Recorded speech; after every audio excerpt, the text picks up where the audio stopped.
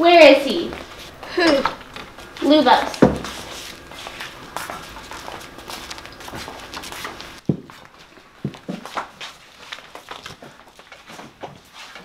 Expelliarmus!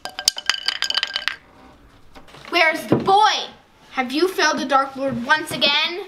It was dark in the woods the night of the, the cup, and and there was chaos. Chaos, that was so you could snatch the boy without being seen. But Potter's friends and and Crouch's elf Winky, they were there. Next time, if you don't bring the Potter Boy to the Dark Lord, there will be serious consequences by the Dark Lord himself.